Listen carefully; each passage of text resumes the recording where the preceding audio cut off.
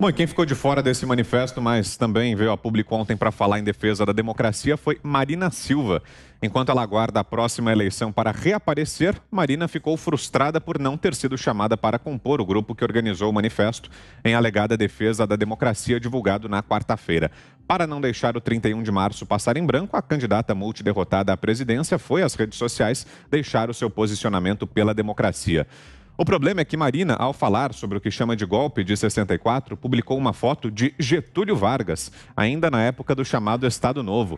O Estado Novo foi o regime político brasileiro instaurado por Getúlio em 10 de novembro de 1937, que vigorou até 31 de janeiro de 1946.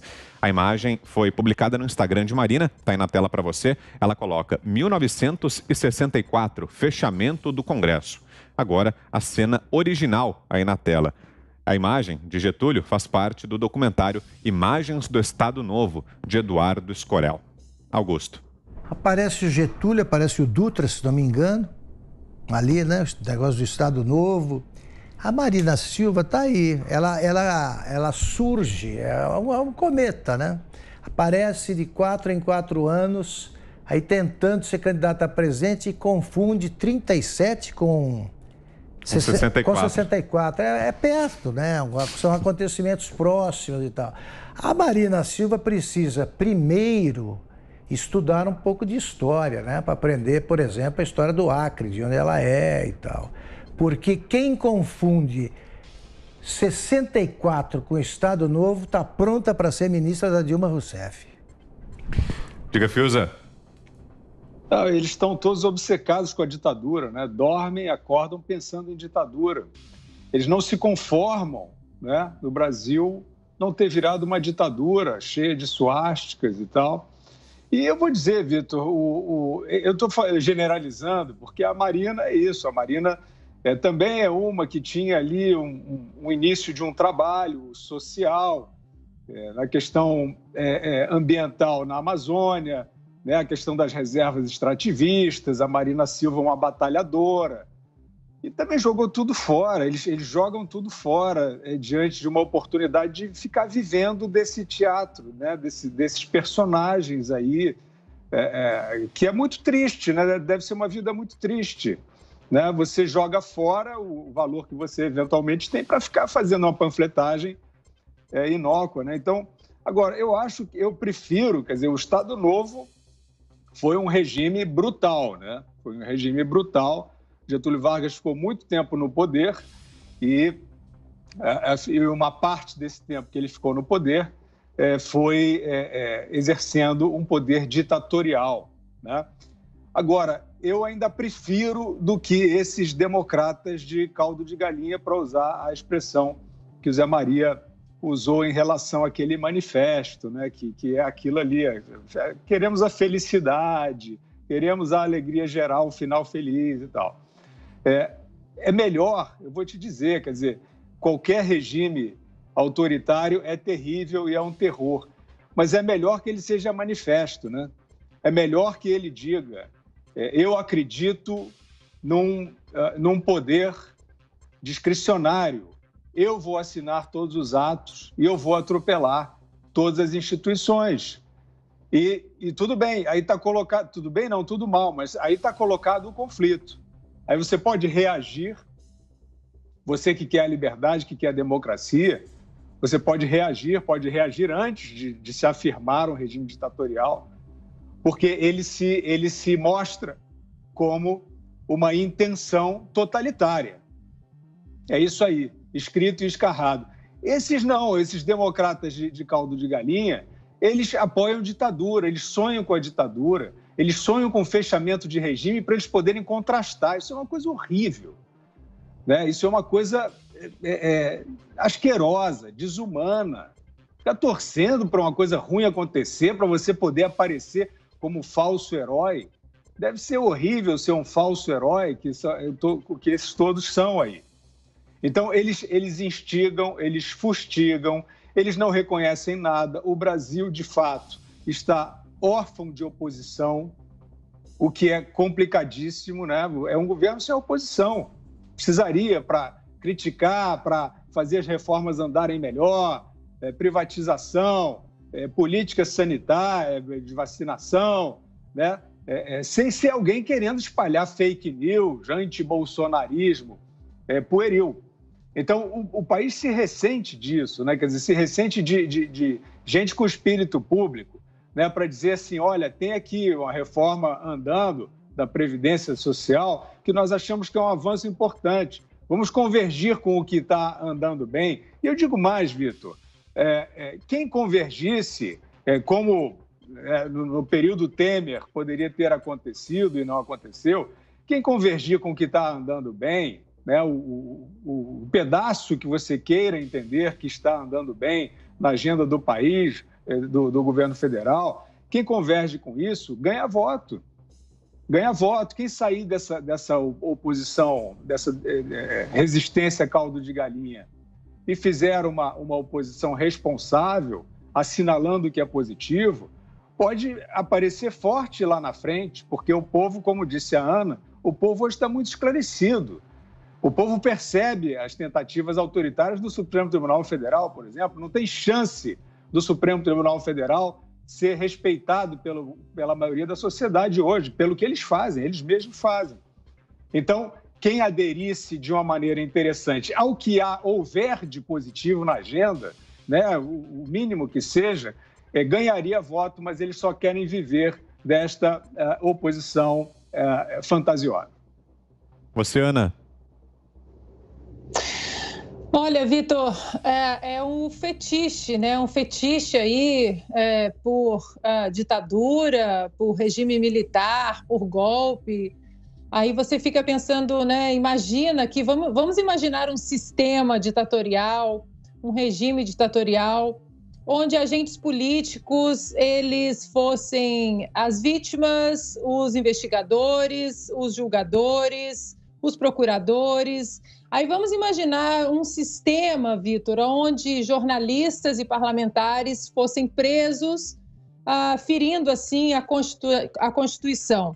Vamos imaginar um sistema onde esses mesmos agentes políticos e juízes eles não respeitassem as leis, eles soltassem bandidos e prendessem trabalhadores.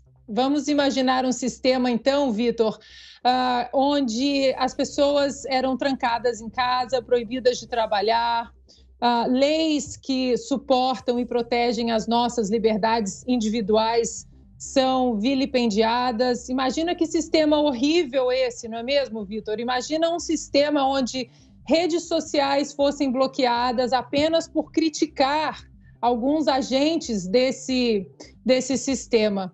Eu sinto um alívio muito grande, não é, Vitor? Afinal de contas, a gente vive num Estado democrático de direito muito longe de um sistema como esse. Diga, Zé. Pois é, olha, existem alguns que defendem mesmo ditadura, defendem a intervenção militar, existem mesmo e alguns, inclusive, aliados do presidente Jair Bolsonaro. Mas não há em nenhuma. Eu, eu nunca ouvi isso de ninguém do governo, sinceramente, com honestidade intelectual, dizendo que pretende dar um autogolpe. Faz o menor sentido o presidente Jair Bolsonaro dar um golpe, é, dar um golpe em si mesmo seria um autogolpe para suprimir outros poderes. Não há nada no horizonte que possa avalizar essa situação. Olha, Augusto, estava falando aí sobre a história do, dos, das carpideiras, né? Eu me lembro do Sarney, que foi o primeiro governo ali do, da reabertura democrática, quando ele falava das pitonisas de quartéis, das caçandras dos militares, que são essas pessoas que existem até hoje. São as caçandras de quartéis que ficam aí prevendo a possibilidade de volta. Não tem nada disso. Essa troca de comandantes das forças foi um grande exemplo tranquilamente. Houve uma substituição normal. Voltando àquele grupo ali que fez essa, essa carta água com açúcar ou carta caldo de galinha, que se não fizer mal, se não, se não fizer bem, mal também não faz de jeito nenhum. Eu digo isso porque qualquer um assinaria aquela carta pedindo democracia, pedindo transparência, pedindo liberdade, pedindo que as pessoas sejam felizes. Eu defendo tudo isso também. Agora, o intuito deles é dizer, ó, nós estamos defendendo isso, porque não existe isso. Existe. Estão aí alguns municípios e estados estão carentes, como diz a Ana, de liberdade exatamente por conta desse toque de recolher. Quanto à, à fala de Marina, é, é um debate que eu aprendi aqui na Jovem Pan com a fala do, do, do general Santos Cruz. Aí ele disse que a geração dele aprendeu que não foi um golpe, foi um movimento, um contra-golpe, mas que ele entende que este é um processo a ser discutido pela história. O que que isso tem a ver para ser debatido de uma maneira tão forte, apaixonada, com ódio? Se foi ou não foi, isso ficou na história. É, é sempre bom dizer que os militares que participaram daquele movimento, ou golpe, foi um golpe militar, eles nem estão mais vivos, alguns. Outros não são é, é, militares há muito tempo e já perderam completamente a ligação com os quartéis. Porque logo de saída, os generais ainda frequentam os cassinos, que eles chamam, né? É, é militares, da, de, de, oficiais, é, os clubes se reúnem e esse elo vai se perdendo com o tempo. Então, esses que participaram de 1964 é, não têm absolutamente nenhum contato mais com a realidade. Em 1964, é, no, no, dia 31 para o dia 1, houve a deposição de um governo empossado e uma quebra constitucional.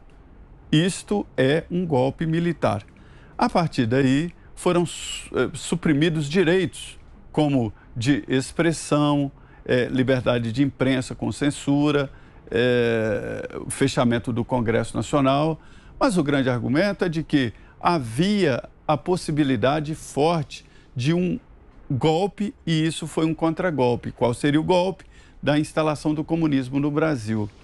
E havia apoio para. Não foi um movimento de alguns, foi um movimento da sociedade, com a participação da imprensa, com apoio de parte do Congresso Nacional. E hoje não existe é, é mais um, um, um conjunto assim. E não tem nada a ver uma coisa com a outra. A história não se repete a não ser como farsa. Então, o que, que eu tenho a dizer? 1964, descanse em paz e que seja analisado pela história. Não há como repetir, porque as condições são diferentes. E pronto. E quem falou isso aqui foi Santos Cruz. É hora de deixar isso mesmo para a história. Mas por que não deixam dormir tranquilamente na história? Porque querem tirar nacos, querem se aproveitar politicamente. E é isso que tentou fazer a Marina Silva e nem soube o que é isso. Ela nem sabe o que é isso, porque é preciso ler, é preciso estudar e entender a história, porque eu não estava lá, mas li e entendi a história. Então é isso. É um grupo querendo ainda se aproveitar da memória, as memórias do cárcere, como se fosse uma coisa que pudesse ser repetida. Não dá nem para um lado aproveitar é, é, de que houve um, um contragolpe, nem do outro que diz, ah, não sei quem foi torturado, isso é coisa do passado, depois da reabertura e aprovação da lei de anistia, que foi para os dois lados, para guerrilheiros e para os que estavam no regime, né? É, foi uma anistia total e restrita mesmo, e isso enterra e vamos jogar uma, uma terra em cima disso no sentido prático, mas que fique sim na memória e na história.